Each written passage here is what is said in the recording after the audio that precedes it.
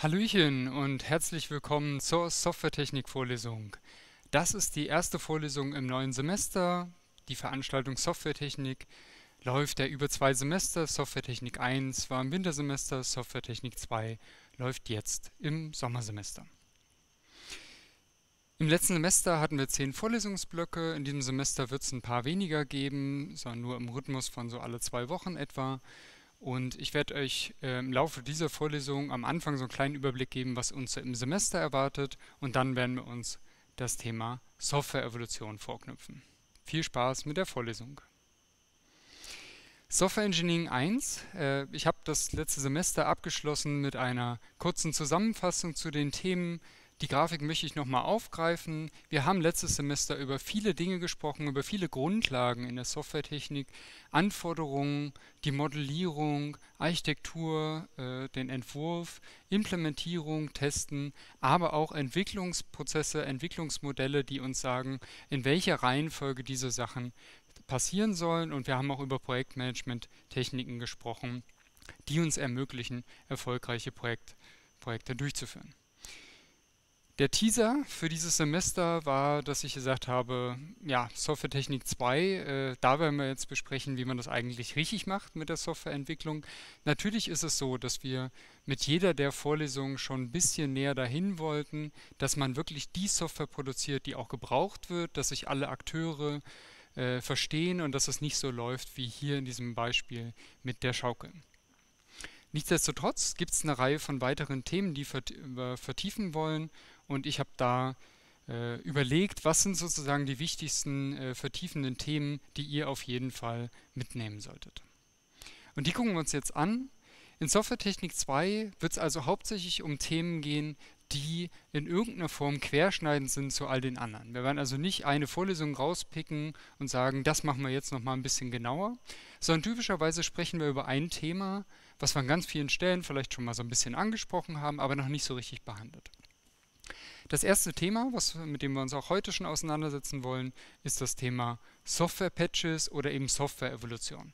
Ja, und wir sehen hier in dem Beispiel mit der Schaukel, äh, ja, natürlich kann man immer äh, irgendwie Sachen wieder reparieren.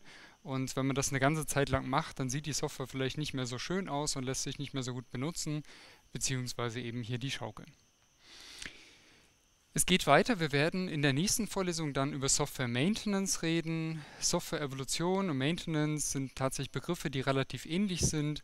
Allerdings äh, werden wir das dann im Rahmen der Software Maintenance Vorlesung äh, nochmal ein bisschen auseinandernehmen. Da reden wir also über Wartungsaufgaben. Ja, also Software Evolution meinen wir jetzt eher, wir haben diesen kontinuierlichen Prozess, bei dem wir weiterentwickeln und nächsten, im nächsten Vorlesungsblock werden wir uns mit Software Wartung beschäftigen.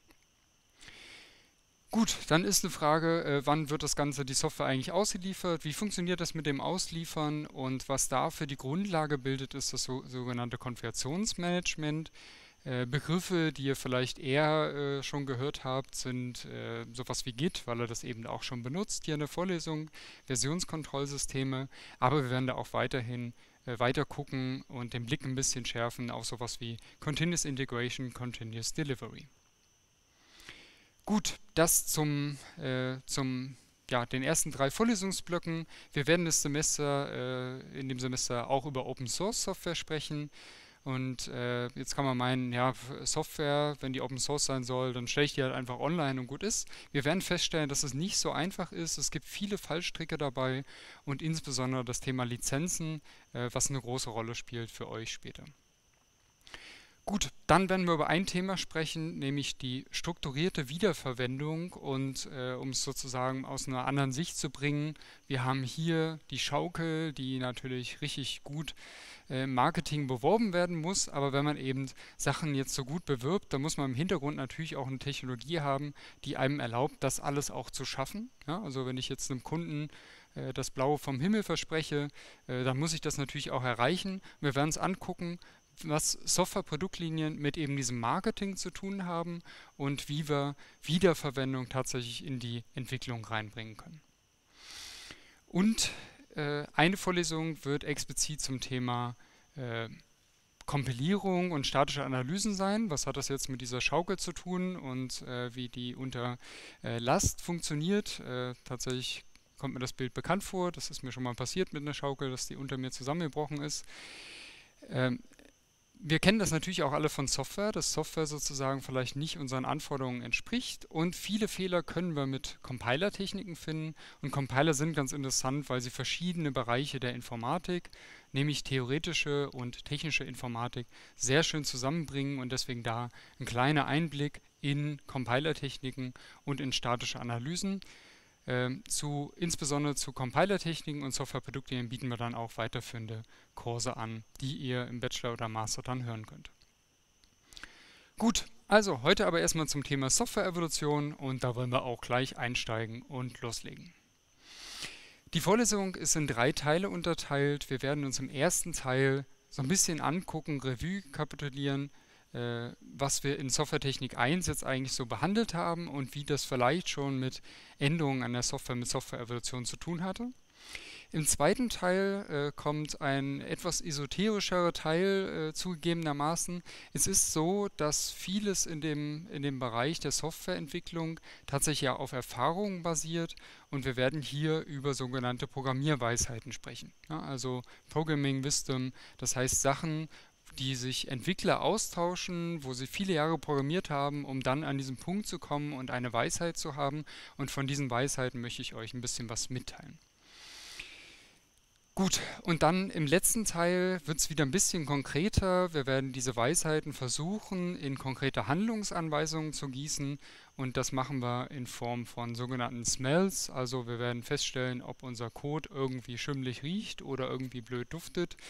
Und wenn dem so ist, werden wir uns überlegen, wie können wir diesen Code dann verändern und verbessern in Form von Refactorings.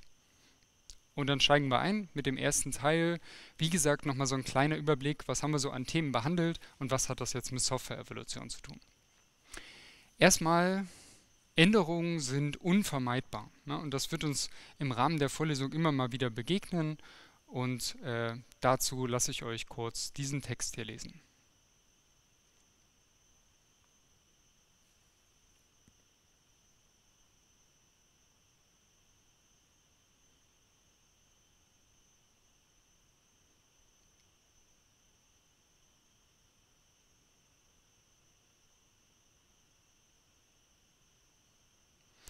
So, was sehen wir da drin?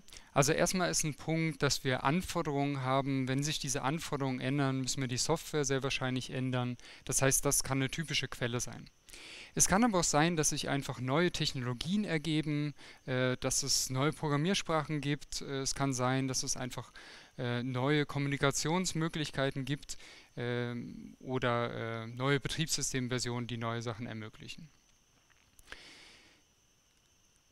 Was jetzt passieren muss, ist nicht nur, dass wir den Entwurf ändern müssen und die eigentliche Implementierung, sondern wir müssen das Ganze auch neu testen. Und das sind sozusagen ist so dieser Dreiklang und wir werden alle drei Bereiche heute ein bisschen mit ansprechen. Ja, also was hat es mit dem Entwurf zu tun?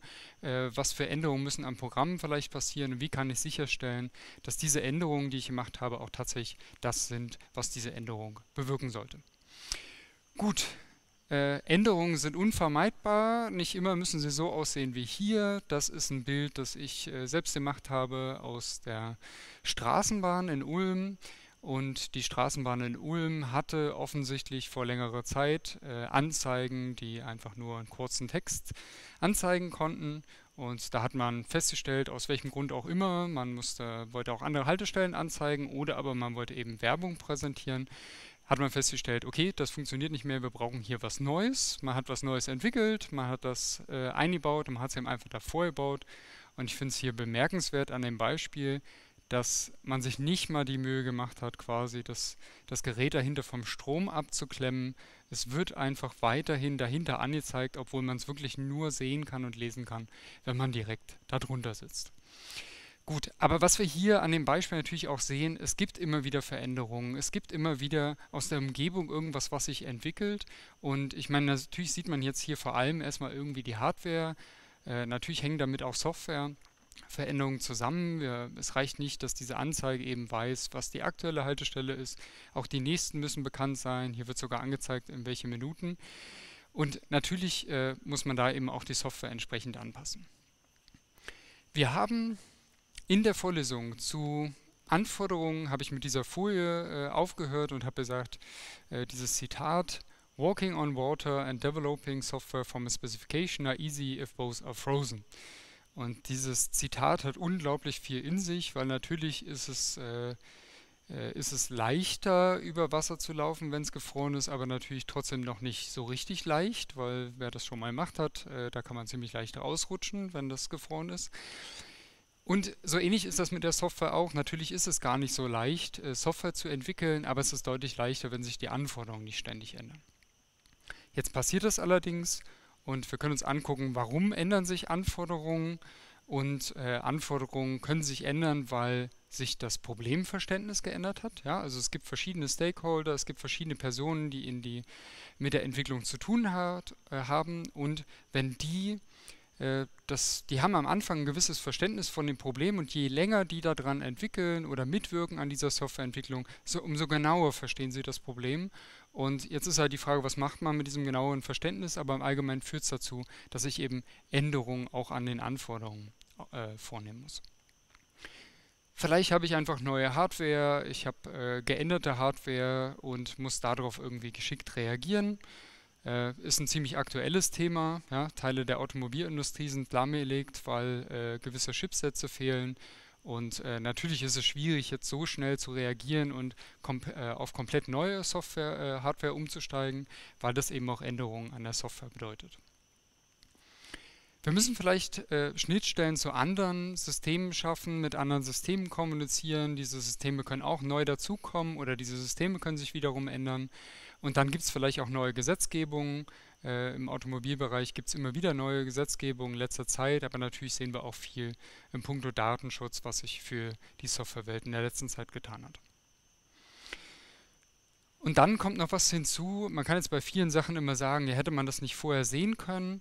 Eine Sache, die man ganz schwer vorher sehen kann, ist, es gibt verschiedene Anwender, es gibt verschiedene Personen mit Anforderungen und manchmal widersprechen sich diese Anforderungen. Wir müssen in irgendeiner Form einen, Konflikt, äh, einen, einen Kompromiss finden und das ist manchmal vorher schwer abzuschätzen, was jetzt der beste Kompromiss ist. Und da kann es einfach passieren, dass man dann eben einen anderen Kompromiss für besser erachtet später und deswegen auch Änderungen an den Anforderungen oder der Software vornimmt.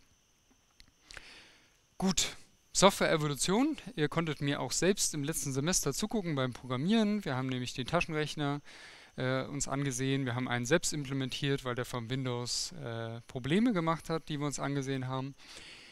Jetzt kann man sagen, selbst diese Schritte, die wir da machen, ja, dass wir haben einfach verschiedene äh, Sachen implementiert, auch das kann man als Evolution auffassen. Ja, das ist jetzt tatsächlich eine Frage sozusagen nach dem Begriff und der ist relativ schwammig in der Literatur auch, Software-Evolution. Äh, tatsächlich selbst diese kleinen Schritte, die mich eigentlich zum Ziel, zum Umsetzen meiner Anforderungen bringen, auch die kann man als Software-Evolution auffassen.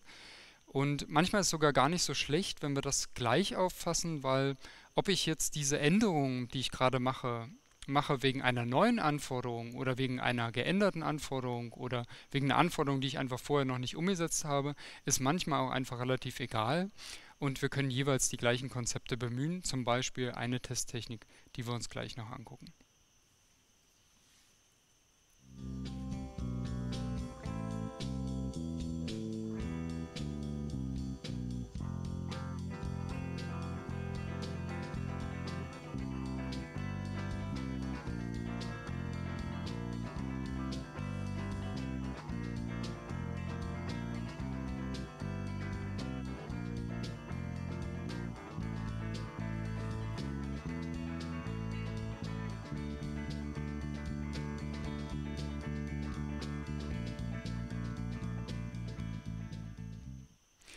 Ja, das ist mal wieder ein XKCD. Äh, die habt ihr äh, unter Umständen schon vermisst. Mit den XKCDs werden immer wieder Sachen ziemlich gut auf den Punkt gebracht. An der Stelle natürlich etwas äh, weiter weg von der Realität vermutlich. Aber der Punkt dahinter ist ja folgender. Wir haben hier offensichtlich einen Effekt, dass manchmal Programmierung gut klappt und manchmal nicht gut. Und hier wurde das jetzt auf äh, den äh, Alkoholgehalt im Blut äh, reduziert. Ob das jetzt so relevant ist und ob das die Lösung der Dinge ist, das wage ich zu bezweifeln. Wir haben allerdings in der letzten, äh, im letzten Vorlesungsblock tatsächlich schon was besprochen, was relativ nah an der Lösung schon ist und was uns schon viel hilft, nämlich die Entwurfsmuster. Ja, das heißt, wir haben uns überlegt, wenn ich einen Softwareentwurf mache und ich habe eben gewisse Sachen, die ich möglichst leicht implementieren möchte.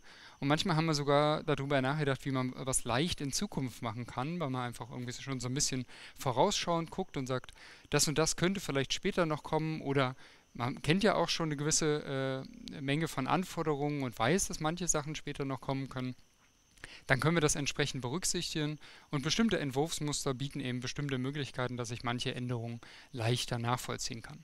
Das haben wir relativ ausführlich gemacht, deswegen werde ich da jetzt hier nicht nochmal groß drauf eingehen.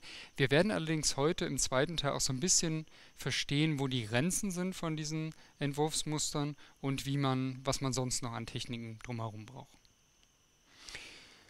Des Weiteren haben wir über Prozessmodelle gesprochen und auch da gibt es natürlich eine eine Parallele und Verbindung zur Software-Evolution. Und das sehen wir hier in dem, in dem Schaubild zum Wasserfallmodell, äh, zum Beispiel an den Kanten, die jetzt wieder nach oben laufen, ja, wo wir eben diese ganzen Treppen wieder hochlaufen müssen, um von vorne, damit von oben wieder das, das Wasser runterfließen kann. Und auch hier sehen wir, da haben wir das schon viel diskutiert, Änderungen an Anforderungen sind tatsächlich das Aufwendigste, was einem passieren kann, weil man durch alle Phasen wieder laufen muss. Was wir allerdings hier auch sehen, ist, es, es gibt eben schon irgendwie so Änderungen. Ja? Es gibt eben Sachen, die man irgendwie erkennt in irgendeiner Phase, wo man zurückgehen muss und muss irgendwie Sachen nochmal ändern. Und heute wollen wir eben ein bisschen expliziter eben über diese Änderungen, über diese Software-Evolution reden.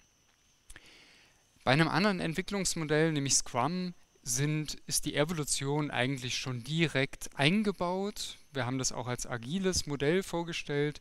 Bei Scrum entwickelt man in so zwei bis vier Wochen äh, Zyklen und in diesem Sprint, in diesem Zyklus der Entwicklung nimmt man sich eben bestimmte Sachen vor und der Rest ist aber noch ist bekannt, was, äh, was man noch so machen könnte danach, aber es ist eben noch nicht festgelegt, was ich in den nächsten zwei, drei Monaten sozusagen implementiere. Und auch hier sehen wir, Jetzt kann man sich fragen, was da dran ist jetzt die Software-Evolution? Ist es das, was eben alle Monate neu da rausfällt? Das wäre sozusagen die grobe Ansicht davon. Und man kann aber auch sagen, das, was, was äh, täglich an Änderungen reinkommt, das sind für mich auch Evolutionsschritte, das ist, sind sozusagen auch Neuentwicklungen der Software. Gut, und letztlich, und das nur noch ganz kurz, äh, wir haben auch über Projektmanagement natürlich geredet und auch hier sehen wir das so ein bisschen, dass Software nicht einfach in einem Schritt da ist, sondern dass es eben in Schritten entsteht, dass manche Schritte auf andere aufbauen und die brauchen. Und was wir hier in dem Gantt-Chart im Prinzip äh, erkennen können, ist, dass es eine Reihe von Prozessen gibt. Und jetzt ist wieder die Frage, was ist für uns Software-Evolution? Und das, der Begriff, wie gesagt, in der Literatur ist meist so allgemein, dass man sagen kann, sowohl die einzelnen Schritte, dass ich sage, jede Woche habe ich irgendwie was erreicht, habe ich was neu gekonnt, selbst das sind Evolutionsschritte. Ich kann aber auch sagen, das, was am Ende von einem äh, Projekt rausfällt, sind jetzt die Schritte, die mich interessieren, die ich zum Beispiel beim Testen mehr angucken möchte. Und da sind wir bei einem Punkt, bei dem wir jetzt tatsächlich noch ein bisschen was Neues besprechen wollen, nämlich das sogenannte Regressionstesten oder Englisch, äh, Englisch Regression Testing. Regressionstesten, was bedeutet das? Ich lasse euch hier erstmal wieder kurz die Definition lesen.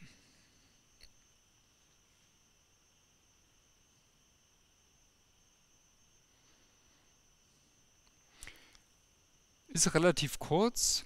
Was bedeutet es, wenn ich Regressionstesten mache, dann möchte ich die Änderungen abtesten. Ich möchte wissen, ob diese geänderten Teile wirklich den gewünschten Effekt haben und ob Stellen, die eigentlich nicht davon betroffen sein sollten, ob die trotzdem noch zu den Anforderungen passen, ob die trotzdem noch das Programm sich da noch genauso verhält. Was haben wir also ein Ziel mit dem Regressionstesten? Mit dem Regressionstesten wollen wir, dass die Änderungen, die wir machen, wirklich die Effekte haben, die gewollt sind. Ja? Also ich habe eine neue Anforderung, die möchte ich umsetzen und genau das soll auch erreicht werden. Oder eine, eine Anforderung wird geändert, ich habe vielleicht eine, äh, eine Echtzeitfähigkeit und ich möchte sozusagen das noch weiter reduzieren. äh, die, die Grenze und dann muss, muss ich nachher gucken, ob das jetzt wirklich erreicht wird. Aber viel wichtiger sind die Punkte, die man eigentlich sonst nicht bedenkt, weil jede Änderung im Programm kann auch an anderen Stellen was kaputt machen. Es kann sein, dass dadurch eine andere Anforderung nicht mehr erfüllt wird und Regressionstesten zielt vor allem darauf ab, eben diese ungewünschten Seiteneffekte äh, zu ermitteln und die herauszukriegen. Es gibt eine Reihe von Annahmen und die sind relativ zentral fürs Regressionstesten. Regressionstesten können wir jetzt nicht einfach immer anwenden, sondern eben wirklich nur, wenn bestimmte Sachen eintreten. Erstmal muss das, was wir uns da angucken bei der Entwicklung, muss eine kleine Änderung sein. Das ist natürlich ein schwammiger Begriff, aber wenn ich jetzt sage, ich habe die Komponente komplett neu entwickelt, dann ist eben die Frage, äh, ob man die jetzt ob da jetzt Regressionstesten sozusagen so sinnvoll ist.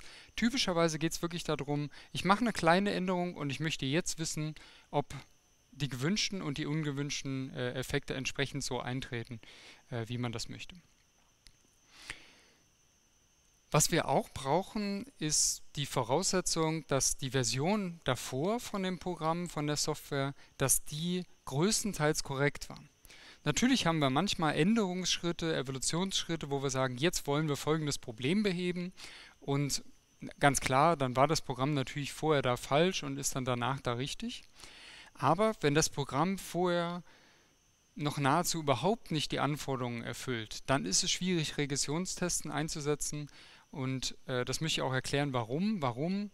Weil wir dann nämlich folgendes nicht so sinnvoll machen können, denn normalerweise, was wir beim Regressionstesten machen, ist eben die alten Ergebnisse mit den neuen zu vergleichen.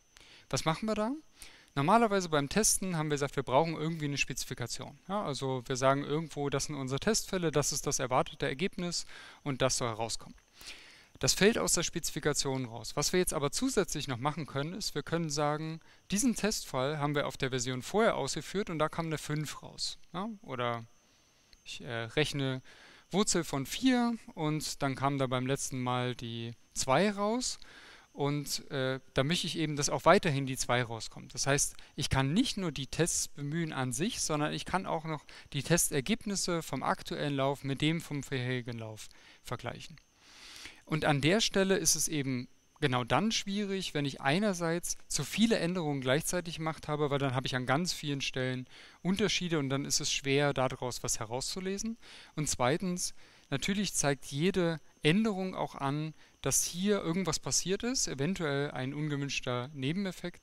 Und dafür ist es gut, wenn das Programm vorher weitestgehend korrekt war in Bezug auf die Testfälle. Gut, da gibt es zwei Charakteristiken, die sich daraus ergeben. Im Regressionstesten müssen wir natürlich auch die Ergebnisse von vorherigen Läufen irgendwie dokumentieren, weil warum sollen wir die ganzen Testfälle nochmal ausführen? Ja, vielleicht dauert das eine Woche, die automatisiert auszuführen. Äh, vielleicht können wir die nicht mal automatisiert ausführen, sondern müssen das manuell machen und das sind zwei Wochen Aufwand. Dann ist natürlich ganz gut, wenn wir den Aufwand nicht wiederholt machen müssen, sondern wenn wir da die konkreten Testergebnisse haben und gucken können, an welchen Stellen weicht es dann davon ab. Und dieses davon abweichen, das kann man sozusagen beliebig weit treiben. Man kann sagen, diese Methode liefert den gleichen Wert. Man kann aber auch in beliebiger andere Richtung gucken. Man kann Regression in Bezug auf Performance machen. Ich kann gucken, sind bestimmte Tests, laufen bestimmte Tests jetzt schneller oder langsamer und kann dann erkennen, ob es vielleicht auch ungewünschte Nebeneffekte in Bezug auf nicht funktionale Eigenschaften wie die Performance hat. Und den Punkt habe ich jetzt schon sehr ausführlich gemacht. Die Ergebnisse beim Regressionstesten vergleichen wir eben nicht nur zur Spezifikation, zu einem Testorakel, sondern zusätzlich auch zu den Ergebnissen von der letzt, zuletzt getesteten Version. Gut, das soll es zum Regressionstesten sein und das soll es auch sein zum ersten Teil in der Vorlesung. Wir haben jetzt uns angesehen, was ist eigentlich diese Software-Evolution und wo kommt die eigentlich her? Und wir haben gesehen, dass es einerseits durch inkrementelle Entwicklung ja, wir, wenn wir äh, die Software ist eben nicht auf einmal da, sondern sie wird Schritt für Schritt entwickelt. Das heißt, wir haben eigentlich immer Software-Evolution, aber Software-Evolution kann auch getriggert sein durch geänderte Anforderungen und da haben wir uns angesehen, wodurch die Anforderungen zustande kommen können.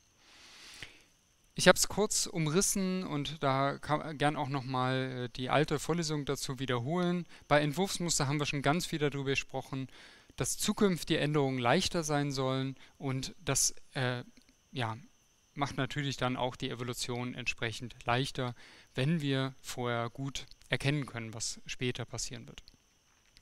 Gut, und dann haben wir uns das Regressionstesten etwas genauer angesehen und ihr könnt hier bestimmte Sachen nochmal nachlesen im Somerville-Buch äh, oder im Buch von Ludewig und Lichter und hier sind auch entsprechend die Links, äh, wenn ihr da auf Somerville und Ludewig und Lichter klickt.